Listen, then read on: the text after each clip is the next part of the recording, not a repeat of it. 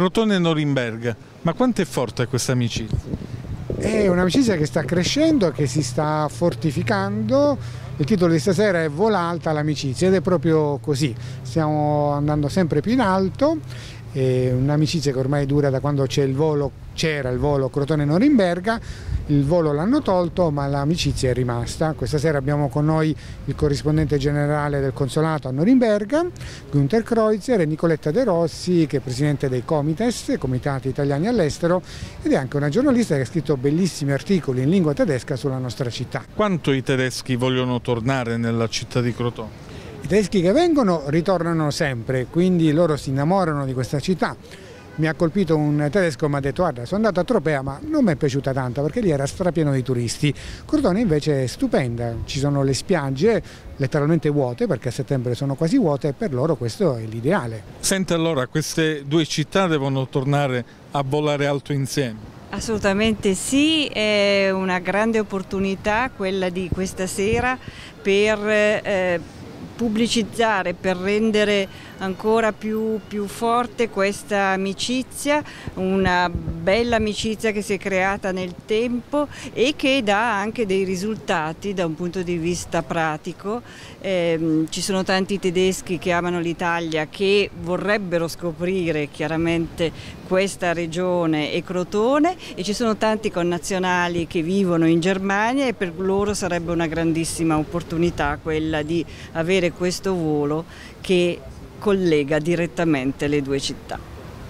Quali erano i numeri dei voli?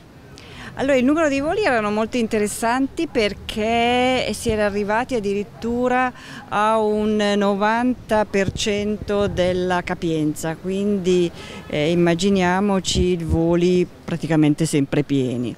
E, in, e questo, lo scopo è anche di plasma, di spalmare diciamo, la, uh, la, stagionalità e non limitarsi al periodo estivo, ma di creare questa opportunità anche per tutto l'anno, semplicemente per il fatto che Crotone gode di una situazione climatica così favorevole che potrebbe essere allettante per chiunque per poi tornare ai nostri connazionali, il periodo natalizio, il periodo delle festività e quindi invernali è sempre un'occasione per tornare a casa. Quindi. Senta, un volo che ha sempre funzionato a Crotone e a Norimberga e che ha unito queste due città, ma adesso cosa bisogna fare per riportare questo volo? Bisogna insistere di far tornare questo volo? Perché da quanto mi hanno detto dall'aeroporto di Norimberga aveva sempre un 90% eh, di capacità eh, prenotato, era sempre pieno pieno e non solo per eh, italiani che volevano fare una visita in Calabria ma anche per tedeschi che volevano fare turismo. E bisogna anche sapere che la zona di Norimberga eh, nella Baviera del Nord ci sono 3 milioni e 500 mila abitanti, allora è un mercato abbastanza interessante per, per il turismo e anche per eh, l'industria e l'economia.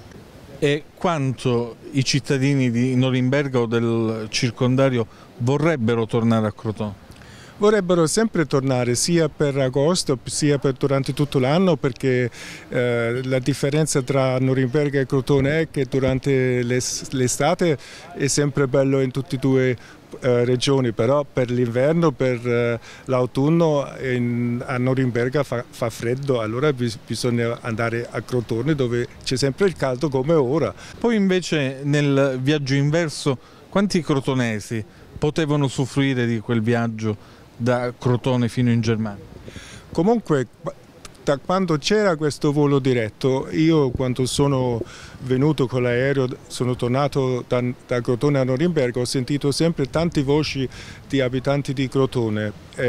dall'altra parte bisogna capire che nella zona di Norimberga vivono 25.000 italiani e una gran parte viene dalla Calabria, allora vuol dire che questo volo è molto importante anche per tornare in patria.